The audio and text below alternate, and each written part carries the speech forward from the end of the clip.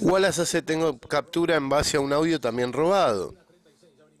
Todos manejan evidencia que yo debo presentar en tribunales. O sea, todos cometen un delito durante todos los periodos electorales, durante todas las pujas paritarias, durante toda discusión política. No hacen más que delinquir en mi contra y en contra de varios más.